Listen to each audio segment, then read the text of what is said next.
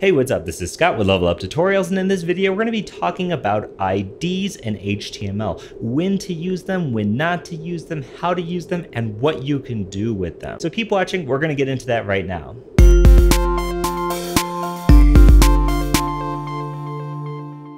So in the last video, we talked a little bit about display inline and display block, and those are two sort of default ways that elements are displayed. Now in this video, we're going to be talking about something called an ID. Now an ID is a way to sort of identify a particular element on your page. Now IDs are only supposed to be assigned to one element. As in, if we have a paragraph tag here, we can say something like ID is equal to, and then inside of quotes, we can say main hyphen text. Okay, and what this is doing is identifying this paragraph as the main text. Now what we can't do is we can't come over to our footer and use main text as an ID again.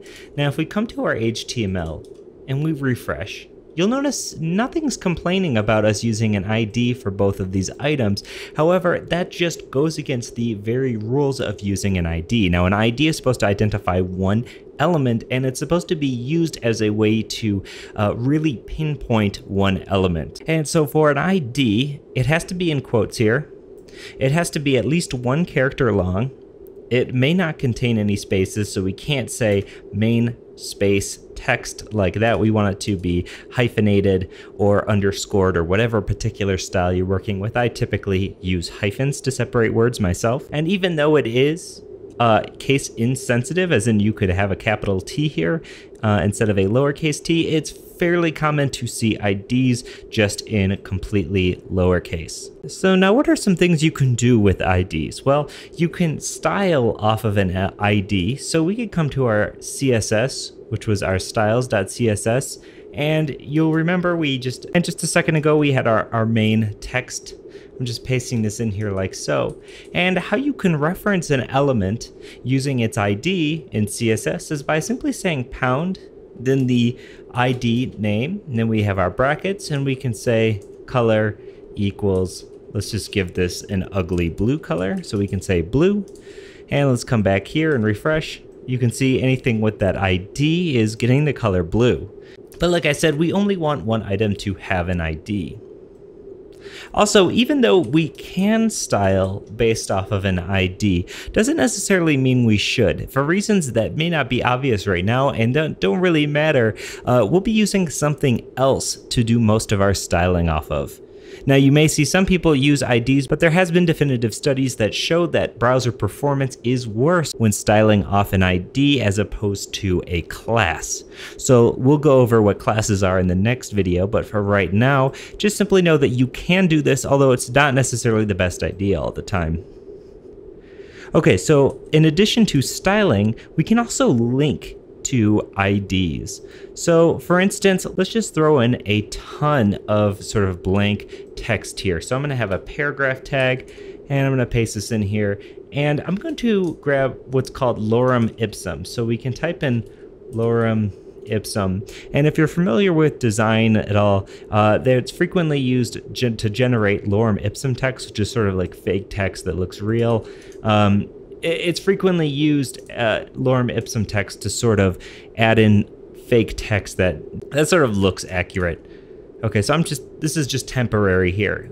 So now when we refresh, you can see we have all this text. So the reason I did this is because I wanted to prove to you that we can link to a particular ID. You see that we have to scroll all the way bottom to down here to get to the footer.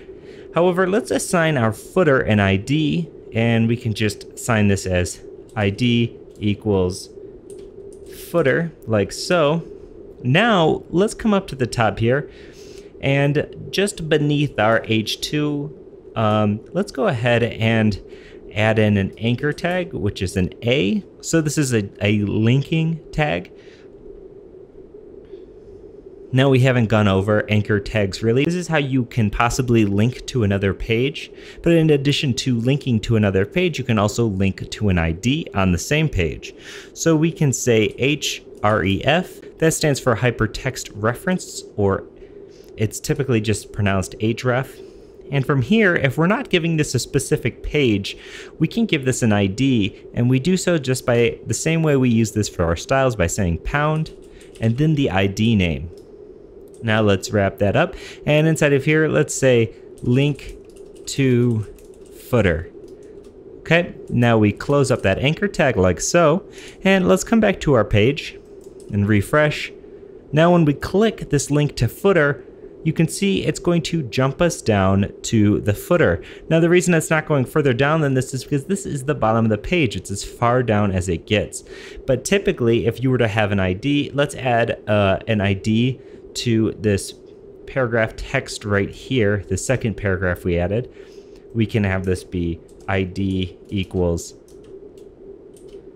long text and I'm going to just go ahead and use this ID on our link instead of the footer, like so.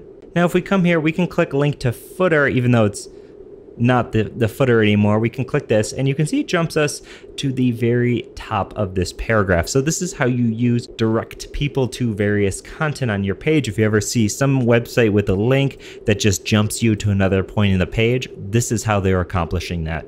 So you can use IDs to style off of, you can use them as an anchor link, and you can actually use them in a lot of ways in JavaScript to identify a specific element.